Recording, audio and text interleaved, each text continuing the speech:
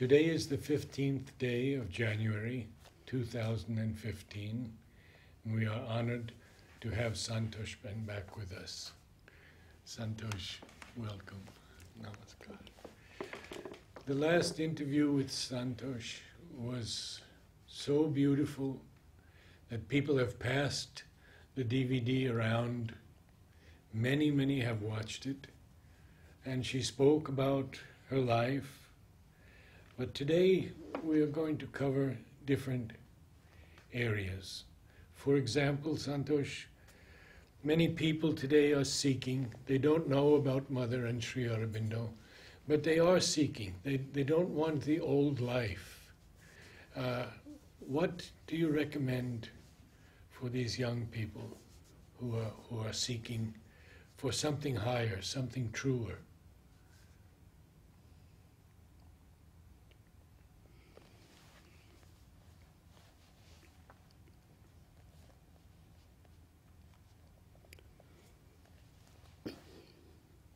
When we come to Mother and Sri Aurobindo, any one of us, naturally there must be some urge within which is inspiring them, which is guiding them, which is urging them to come here. Isn't it? Yes. Otherwise, no one can come. When one doesn't have the aptitude for this life, no one will turn up. The world is big enough for them to live. But when we come here, we come with certain aspiration within. We may know it clearly or we may not, we may know it vaguely. And when we enter this atmosphere, when we enter Pondicherry, when we feel the atmosphere and when we see that our deities, Mother and Aurobindo, there is some commotion inside, some awakening inside, which pushes them always. And knowingly or unknowingly, even at the time of Mother also, when she used to instill that aspiration in us through her eyes by merely looking at us, even then, some people may feel it very clearly, they may decide their future very clearly, but some are vague enough but still pulled. They feel pulled. Something from within is pulling them to join the ashram. So they wish to stay here then. So mother used to she always already saw and she then still more she examines them that way inside. And seeing our possibilities even even though we may not be very clear about our own selves but she sees she used to see possibilities potentialities. And accordingly she used to grant us permissions to stay here or not So that way, I think most of us are here. Now it depends. During our stay here, it may be lifelong, it may be for some years, whether we have utilized or whether we have developed our inner soul up to that level which we are expected or which we are told, or we are just again fallen back on the same rut of the old life. That is a very, very essential point for all of us. If we cannot progress, naturally we will lag behind in everything. And what does this progress means? How to keep in that burning this fire within. For that, Mother and Aurobindo has given enough guidelines, you in their letters, otherwise also in their writings. So I think it's not such a difficult thing if you are little conscious and try to imbibe that thing from their literature, from their words, from our prayers, and with their grace. They are always there ready to help us. Always there, I can say with confidence. It's we that we lack that confidence, that aspiration, that prayer, that fire, and that constant burning should be there. We are not to go astray in all those things just once we are granted, it's our life mission is over. That is not the life here. When you are granted admission, permission, real work starts then. Isn't it? And for that, to keep that aspiration burning, Mother and Sri Aurobindo, both of them said so many times in so many letters first an aspiration, first prayer rather. Aspiration is still another step. When we can't know, we can't decide our future, what to do, how to do. At least that much link we should have with the mother to ask her, to pray for our difficulties. In the beginning, it may be just a repetition of words, but ultimately, it links us with our soul. And then it becomes aspiration. Which mother used to do with her eyes in a moment. We may take some time, some months, some years, whatever it is. It depends upon the intensity of our prayer, our confidence, our faith, everything. But it comes.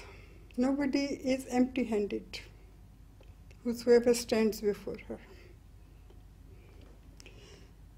So I should say that I was lucky enough to have that opening from the very beginning from the mother. Now, from prayer to aspiration, Yes. then would you talk a bit about surrender? Yeah. Then, after the aspiration, when you love somebody, when you aspire for somebody, when you have a yearning for anybody, even humanly also, what we do, when we love somebody, what do we feel? The first gesture of our being is to give ourselves, isn't it? Whom we love, always in our thoughts will be what best I can give to my lover, to my beloved. Isn't it? Same way, when that uh, fire has burnt, when that yearning has come, automatically that's your being starts flowing towards that.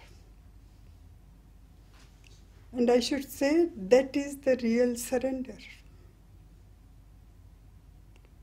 In words, we can say, you surrender everything to the Lord. When you pray, you say, All this, my being, and all that is yours. Very well. It has to be done. But not only words. In practice, it comes when you really pine for that Lord. That uh, burning fire within should be there. So aspiration leads to surrender automatically. We don't have to ask question to ourselves how to surrender. That is, I should say, an extreme ultimate step. Before that, again, the same method we have to employ prayer. we must feel, start feeling at least, everything belongs to Lord, not me. My every action, my every thought, my every word, my every relation, every connection, whatever I do from morning to night should be inspired by you and should be offered to you. That should be my gesture. First, we can always pray, but then it comes automatically, and when it comes automatically, she doesn't care to listen our words. She so she sees the flowing of the consciousness towards her, which she is ready to accept every moment. Yeah. Every moment she receives that. And when problems come up with others, in oneself, Yes. Problems of what type? disharmony, Mm, anger, mm, desire, mm, ego, mm. we can go on and on. Well, yeah.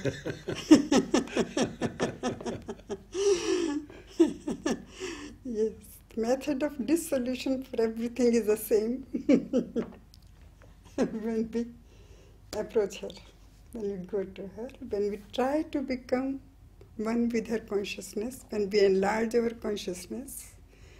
Ego can go only, that is the last thing to go, but it reflects in everything whatever we do, whatever we think, isn't it? Whatever relation we have, that supremacy, that I am something, that is always there. So, to change these egos, first of all, we have to know whether we are egoistic. We don't even realize.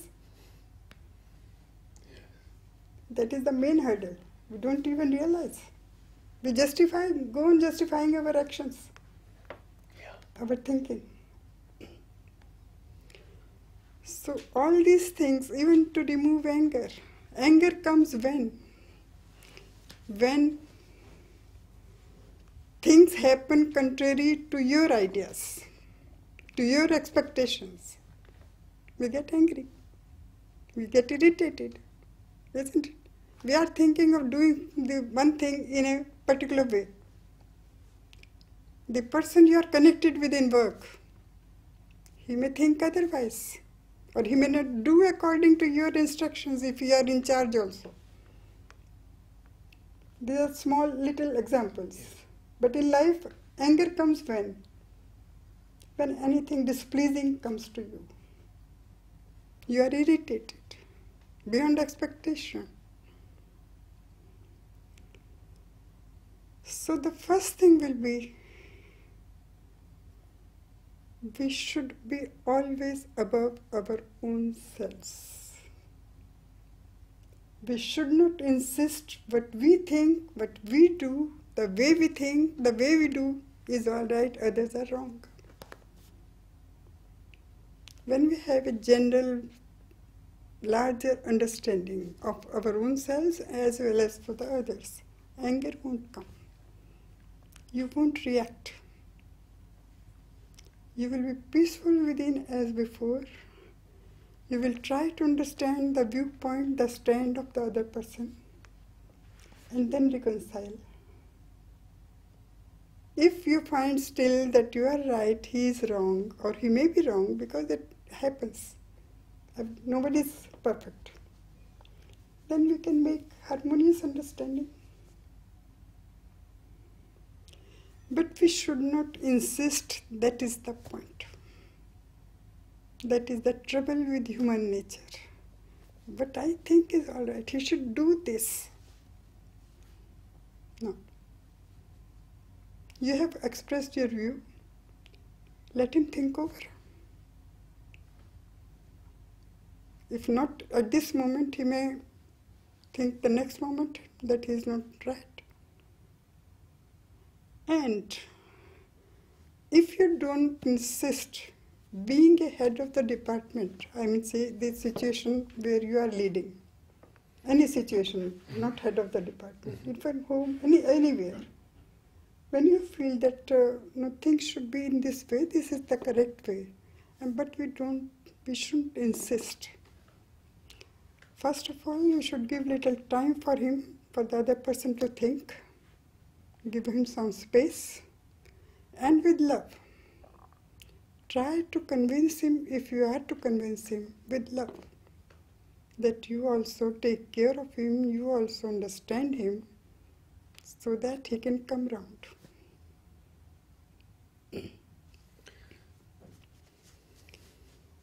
and inwardly, we can always our we can always refer our difficulties to mother. Sri Aurobindo says the first essential thing is peace. Yes. Just in this previous context, I'll just I'll say, Aurobindo has very jokingly once said that when I talk of surrender, Oh, yes. The first thing people surrender is their common sense. Common sense, yes.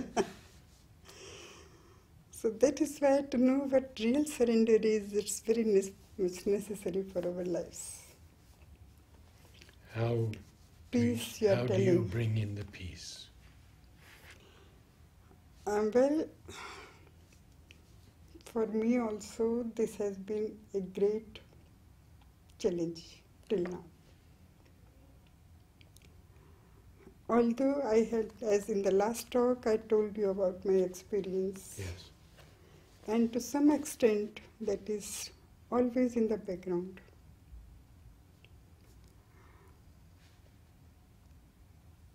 Real peace comes really with the inner contact. Then we don't have to invoke also. As soon as she stands before you, you are in her environment. She covers you with all that is her, hers, and she has everything, whatever we ask for. Her mere presence, her mere, mere coming is so peaceful, so blissful. The very memory of it is so very blissful. That automatic comes. But in the present, in the day to day life, in the problems, when you are facing all the time some challenges, some difficulties, some problems to solve, even then, the stage of our consciousness should be always to stand back. That is the first fundamental rule of spiritual life for Mother and Aurobindo also, and for Gita, every Shastra scripture will say that to detach yourself first is the first necessity. Now, how to stand back? And that should become a natural state of your consciousness. Then only you can remain peaceful. Peaceful doesn't mean when we sit for meditation, close our eyes, and just we remember for some time we are very peaceful, rest of the time we are all the time agitated. That is not peace. Real peace comes when we know that this is not, this outer self is not I. In Gita, it's very beautifully said, and this I have experienced by Mother's grace. Then you need not do meditation, even it comes automatically. You face any difficulty very automatically. You just stay behind. Get, don't get involved with the situation. And then whatever comes will bring with it solutions. Because you are seeing from another level.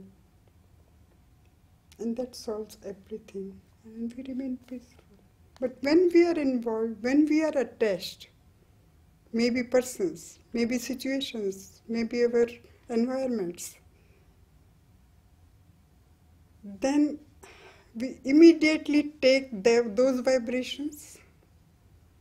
Person is very agitated, he is angry with you, he has spoken, he has abused you. You also get irritated, isn't it? You will also reply in the same, retort in the same way. First reaction will be that, mostly. Or if you are sensible enough to control yourself, you may not utter the same abuses, but you will feel hurt. Yes. So, in that case, but if you are aloof, then nothing touches you. And that aloofness itself pacify all that agitation, anger, everything to the person also, to you also. To the person also. Yes. But for that, we shouldn't, from the mouth we are saying, I'm very peaceful, mm. but inside you are bubbling. That is not peace. Yeah. That, that won't have influence.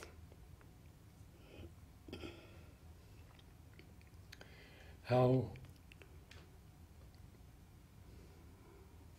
did you come to have the peace? You said it was a long journey till you developed the peace. Because of the and still also and still now also I fail at times. It's not that I'm always in that state. I do fail many times. So. But um, you had spoken to me about experiences.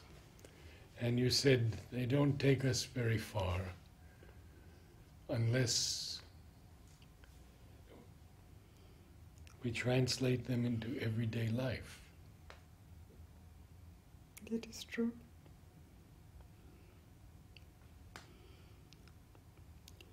Both the things are helping. Both the things are means to advance. without experience, you may not have the that firm faith. Because the thing you have seen with your with experience yourself, you have naturally more faith in that than the, any sayings, any words of anyone, isn't it? So experiences help that way when you have personal experiences. But if we are just feel proud of it oh i'm having so many beautiful experiences. I'm i must be something within. Then everything is gone. No use. It has made you only egoistic. Isn't it? Yes. So for that what i have seen what i have experienced that experience should lead me, should tell me that you have to advance still further. It's not that you are something, by the grace you are getting it. So invoke that grace that I may go still further, I may still come nearer to you.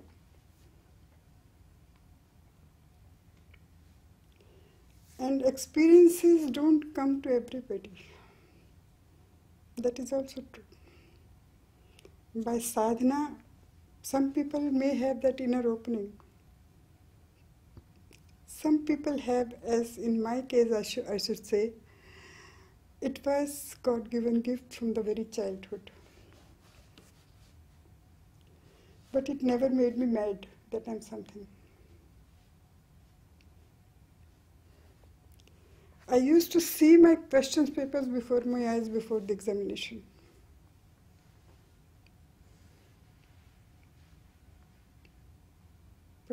Those things didn't make me mad or make me my head off that I'm something. I could tell the events beforehand. And that was not my doing something. No. I should say it was a God given gift. But I developed it. Developed it in the sense that I took it in a very light way, took it as a milestone for my sadhana, and proceeded like that. So, certain things God has given me very natural way, in a very natural way. The opening to the mother, first the remembrance of the mother. There was some urge, without seeing her, I must go there. I must see mother. That was my only aim while staying outside. So probably all these experiences they were helping me, Preparing you? preparing me, and brought me to the true path. And because I was little open, I was ready, I was aspiring that way, mother also didn't find any difficulty to open, go on opening from from within. So I say both things are helping, helpful. But most of us we don't have experiences, but we should not be depressed that oh that person is having so much. I don't have even after so many years I don't see anything, I don't find anything, I don't feel anything. We may get depressed.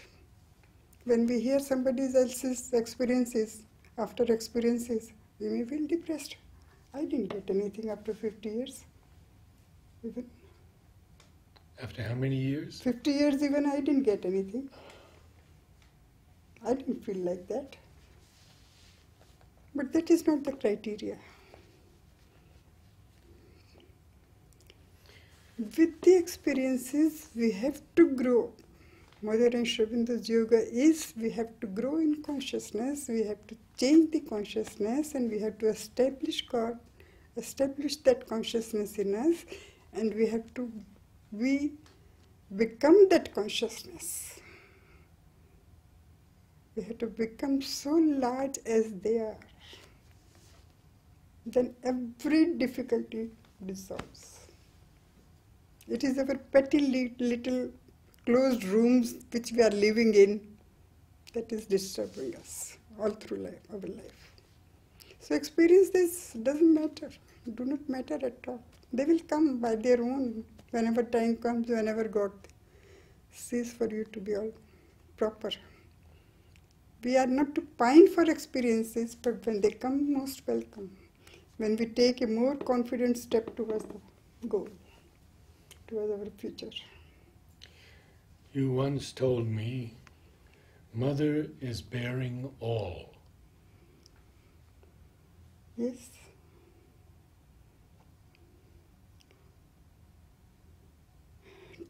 To say it in words, you may not believe it. Mother is bearing all, she is doing all, she is loo- looking after us all in every way. Mere words, will you, do you think it will help you? It will influence you? Unless you have that experience within. When you are in certain difficulty, difficult position, difficult situation, and when she comes, all of a sudden, in a most unexpected way, then you realize, oh, how she is with us. But this thing becomes very natural when we are one with her. So, always in sadhana, there are two steps.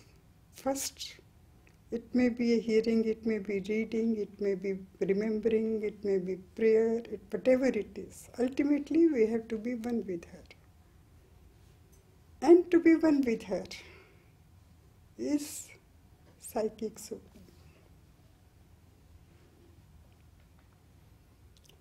That is a mirror within ourselves which shows our real self as well as the deity seated within. And then we feel at every step of life Every moment I can say. It's not I who do anything. Not this I which I am I call myself as I. No.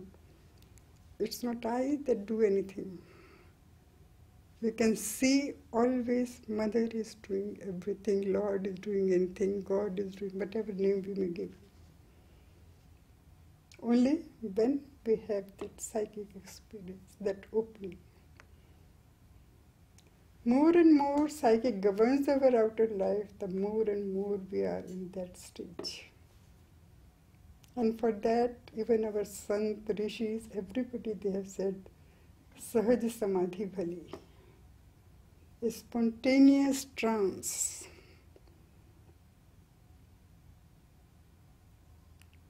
You are always somewhere else because you are seeing your beloved before your eyes.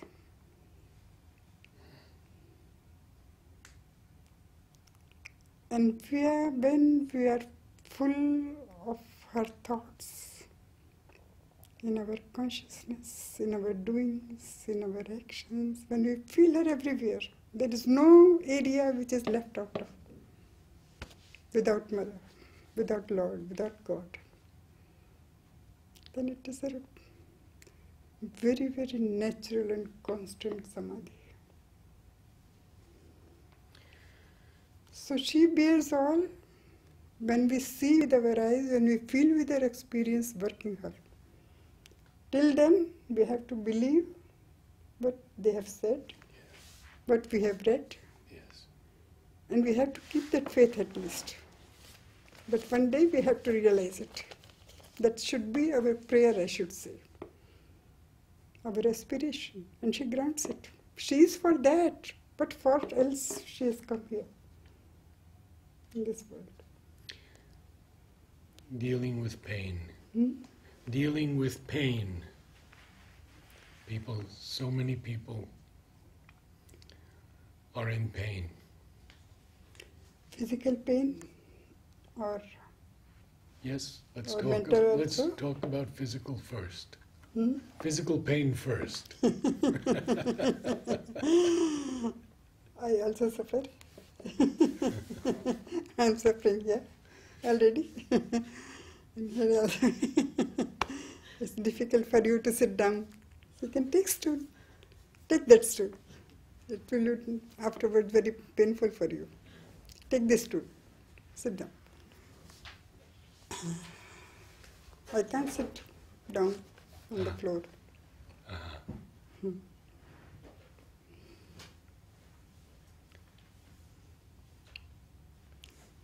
I'm more comfortable now. How, how do you work on your pain? Well, both ways. Physical has to be treated physically also, medically also. it is not that with our consciousness we can we don't have that much of mastery. Yes. We are not all the time 24 hours with the God. Yes. There are lapses, there are moments when we are separated. Yes. You keep one more, two more cushions on that. I don't know her name. You keep cushions also over that.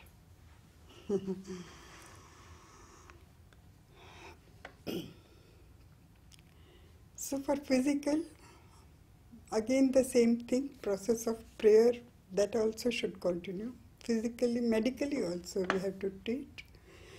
And uh, I generally say and feel God has given us machine with which we work all the time, but we, not, we know nothing about its parts. when it gets stuck up, we don't know how to do. We can do this repair, isn't it? but not with the body. We don't know what is happening. We rush to doctor who knows, and that he also may not know the full thing. It goes on with physical, like that. And we also go stumbling, suffering, and uh, may, may lessen it sometimes, little less of suffering, little less of pain with all these aids. We take, but more and more we should be conscious as we are conscious in our consciousness with other things, with our anger, with our nature, with our character, with our mental thinking. As we are going on sorting things there, offering things there, enlarging ourselves in every way, trying to do it in our feelings, in our emotions, as we are sublimating ourselves. Physically, also, we should try to, apart from all these physical helps, there also, what I found most effective way of uh, coming out of pain is to detach yourself Although it is difficult, not always happens, but it happens. And a willpower.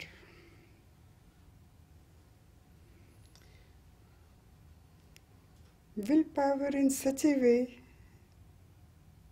that body has to reject it. It shouldn't accept. Generally, what we say, oh, age, it has to come. It will come. Can't help it. You have to suffer. No. This is not our yogic attitude.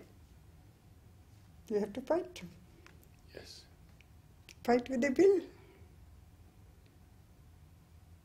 If somebody stands before us, challenges us, wants to fight, then should we run away? Or should we give our face to, all right, you slap? We should all be able to slap it. And that comes from inner willpower. Detach yourself, call the Lord, rest He will do. You may not find it immediate effect, but the next moment you may find that, oh, everything is gone. But it's not so very practical for us because we are very much tied down with the physical. But it's not that the ways are not there. How much we succeed it depends on us. I also cannot boast. Although I have gone through so much of physical suffering, as I told you last time. Yes. But uh, they have passed like nightmares. Really, I didn't feel that part of suffering. The in proportion they came the um, all the major operations, but not that much of suffering. But it could have been. You They could have been fatal also. Yeah, yes. yes. Would you speak a little on humility and gratitude?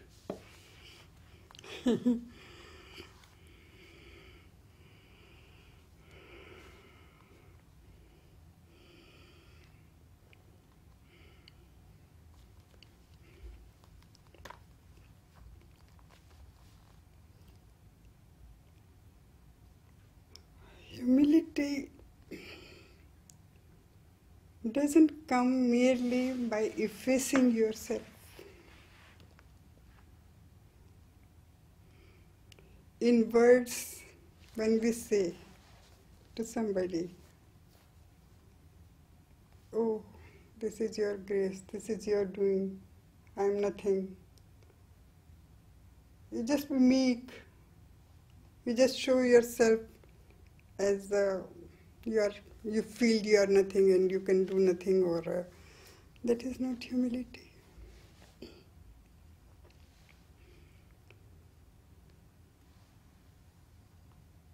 We may not boast what we are doing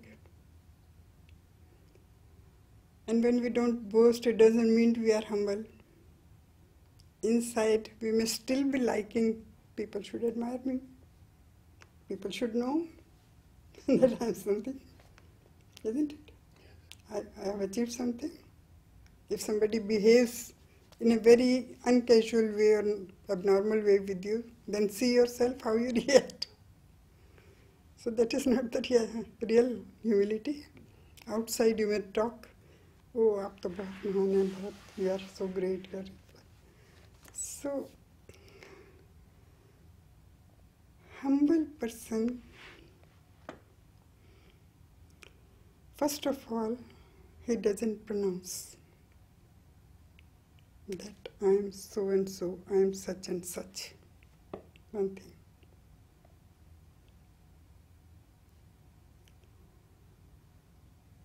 Second thing is because he has realized himself within himself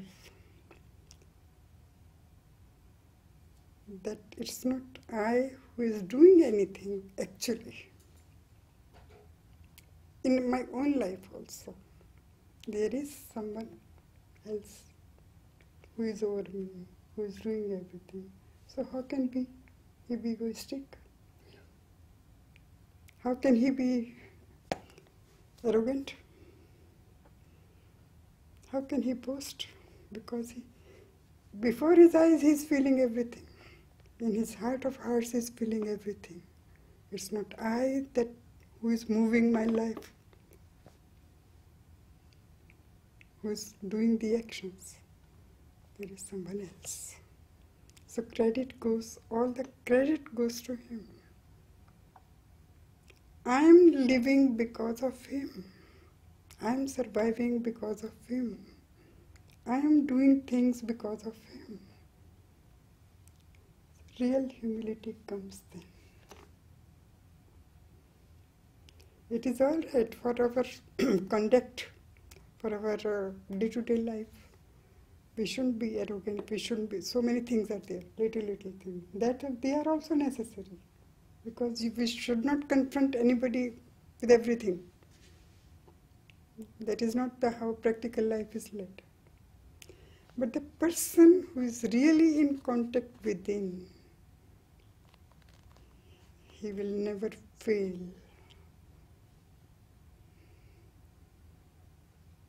He is a true humble person. He won't announce also that I am humble the very figure, the very personality, the very utterances, the very face, the very influence of the personality. When he sits with you, he will emanate. That is real humility. That is real peace. When you find peace in somebody's presence, maybe saint, maybe sadhu, maybe some, anybody. Why? Why do we feel peace in their presence? They don't utter any word. Maximum they will do, they will put their hand on you. You will pass them, you will sit near them, and then you find peace. That emanates from the being. That's what we are to be, every one of us.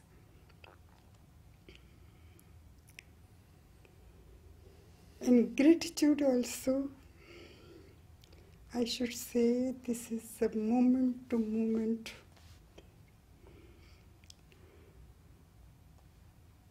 our deepest,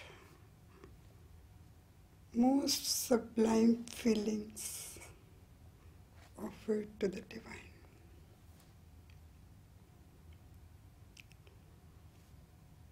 We always say that when somebody does something for you, you must feel grateful we will write also like that. Somebody has done something, we will reply, and I'm very grateful to you. That is one way. In interdealings, we are, and we should be, that much at least we should have in our normal day to day life. We should have that much of gratefulness. Because gratefulness always, it's not only good for the person or for your uh, interrelations, but it brings joy to you. All of you must have felt it. Gratefulness brings real joy in life. And that joy, that goodness, again brings more goodness to you.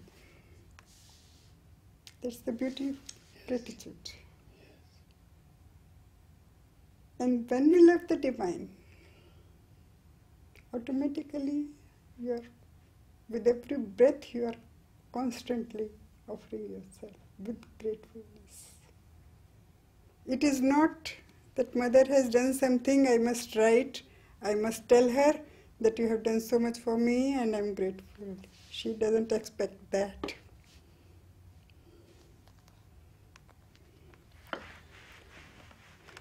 There is a line in Savitri a prayer upon his lips Hmm. and the great name. Taking the mother's name. Hmm.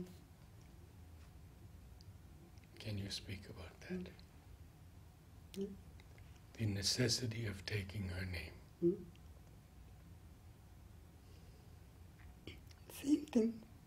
Same thing. When she's with you every time, in every breath,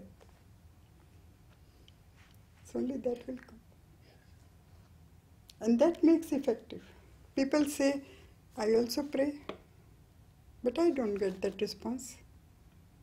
What I prayed for. Every everybody, every great soul will say, you pray, you pray, you take Nam Japa, Mm. you jap. Everybody will say. But do we everybody realize what does it mean? It is not verbal. You may not utter also. But it is something within that goes constantly, incessantly. That japa is japa.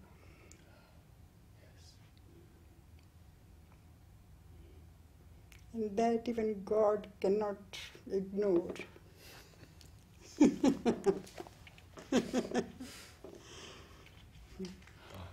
In Mahabharata, it's a very episode is there. Krishna is sitting. His wife Rukmini is pressing his feet. Some bhakta, some devotee is remembering him earnestly for help. And he, it was Draupadi when the, the garment was being opened. So she was remembering him earnestly. And Krishna used to sit up and then lie down, used to sit up and then lie down. Then Rukmini asked, What are you doing? Ultimately, after doing so many times this gesture, he left immediately. Then Rukmini asked, What was the mystery behind your action? He said, Yes, Draupadi was calling me, but till then half mindedly, half heartedly. She was expecting, I'll call Yudhishthira, I will call Nakul, I will call Sahadev, he will help me, he will come, he will do this, he will do that. And sometimes in between, he was remembering me also. But when she was disappointed from every side, and she called me alone, then I could not stay.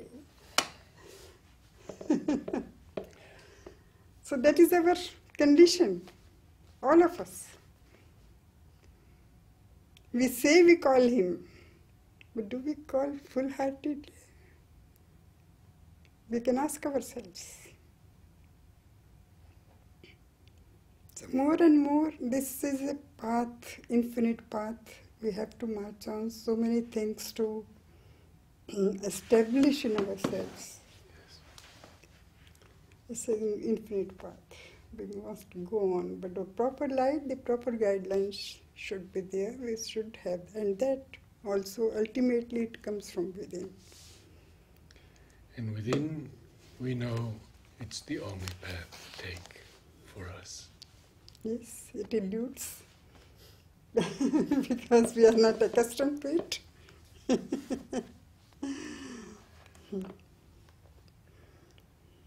Do you have any questions for Santosh? You were asking about the pain, but Huh? physical pain. But what about another thing? Mental pain? Psychological or Huh? psychological pain or Psychological pain. Uh, Alexei is asking about psychological pain. means again of the relations, you mean, of the contact with the situations, persons, or in the work, or your inner difficulties, you are asking. Inner difficulties. What type of? For example, you asked, you said that experiences some people would have for 50 years, have been doing some sadhana, but without experiences. And if he hadn't, then how did he know that he's moving on the path? So there's some agony, I would say, inside, or some difficulties, or That happens. That happens, and it's a very sad thing. That will be some hidden, some dormant things come up, and they are led away by that. It's a very sad thing, and it happens at times. Not very common, but it happens. And for that, well, Mother's and Sri Aurobindo physical presence was a very solid support for it because they mm-hmm. knew the future, they knew the destiny, they knew the p- potentiality, and they knew the way to bring that soul back. Sometimes they themselves used to send the person out. For some time, you be out, have the experience. But they used to go on constantly working on them. They used to work on him. So ultimately, then after maybe one year, two years, three years, whatever it is, they used to come. So and that is sometimes it is out of individual control. I should say. And a person has to be very, very vigilant about himself from the beginning and always pray in the right direction. The things which we cannot sort out ourselves, we cannot correct ourselves, we should always refer to her. She will take care of. In the end, it is time already, no? Yes. All right. We can go on then. Apart from all that, all the other things which you have asked about the nature, anger, this jealousy, whatever it is, humility and everything. One main hurdle for most of us, probably for every one of us, is sex. Isn't it? Yes. Because it leaves nobody. And you cannot be an imposter in this life, in this yogic life. And things are not allowed in this life. So, what to do? With the age, with everybody, it comes. No? Some part of our life is, so to say, is eaten up by this unhealthy, un, this thing. It's very true. Very true. Without it, also, nobody says, uh, at least in the West, it's a very natural thing. They take it in a very natural way. But in our Indian society, it is still out of life, of spiritual life. They want to keep it out. But can it remain out like that only? By telling? It will attack anybody. And it does attack. It comes in life. The- As soon as you grow young, this thing also shows its face. What to do?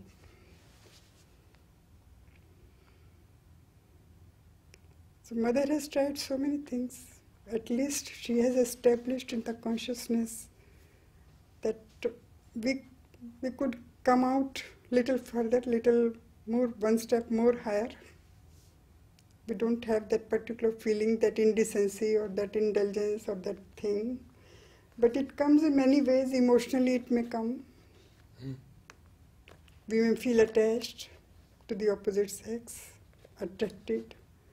For some years, it may go on, go on like any other intense with intensity and uh, intimacy. But ultimately, it may drop off. if we are sincere to our path. But still,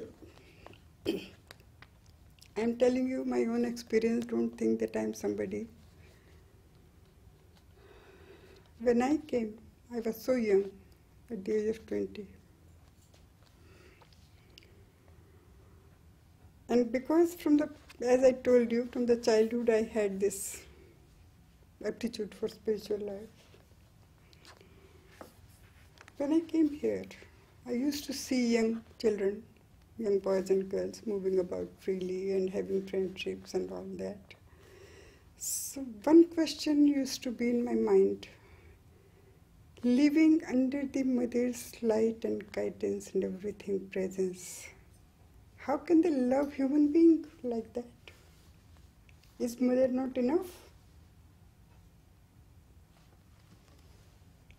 How can they divide that love among themselves? What is the need? Why do you feel that need? They don't get sufficient from mother?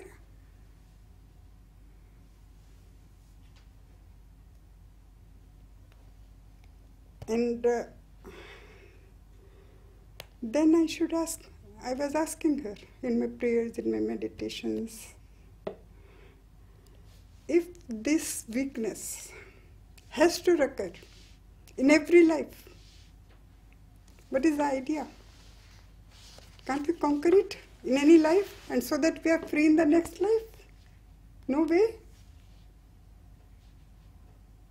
Because really, it was disgusting for me at that age. Even bearing children and all that, from the very beginning, I used to have that same superminds, children will be like that. That ideas I liked from the very hmm. beginning. So it was a real shocking experience for me that why living under mother, they feel the necessity of loving each other. Can any human being be a perfect being? Why should I get attracted? I can have friendship. I can have a love that is very, very, so to say, pure, sublime thing. That you feel some with some you are congenial, with others you are not. That is very natural. But it is not that you are tied down. This sex relation is makes you helpless, absolutely. And then so many things come, all that jealousy and all that, everything comes with that. Then I asked her, at least make me free, that is what I want to pray to you. I should, what we say in Hindi, I should uh, make you, I should feel you, I should uh, think of you in every way. Maybe a husband, maybe a friend, maybe a father, maybe a brother, maybe a, in all relations I may see you, not anyone else. That will solve the problem. Mother says it in her prayers and meditations. To see only you. And then when I was sitting near Samadhi one day, after my dining room's work, see, I'm sitting here. She came with two garlands in her hand. In our Indian marriages, at the time of marriage, husband, that boy also brings, and the girl also have one garland. They put in each other's, so that they are now husband wife invest whatever your ways are. She came with two garlands. She put in my neck and I put in her neck.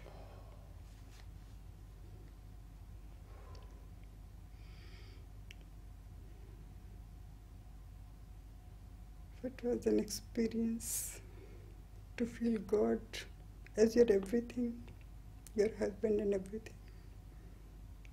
And she has made it so beautifully explained to me. Made me realize and made me, money, she imprinted in my heart the relation with her. And I was free really from that nuisance.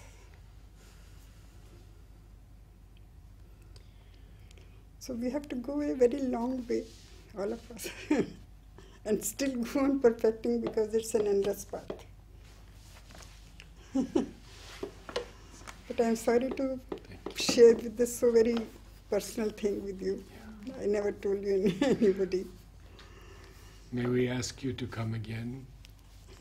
For what? Nothing else. I'm sure there is so much more to speak about Sri Aurobindo also.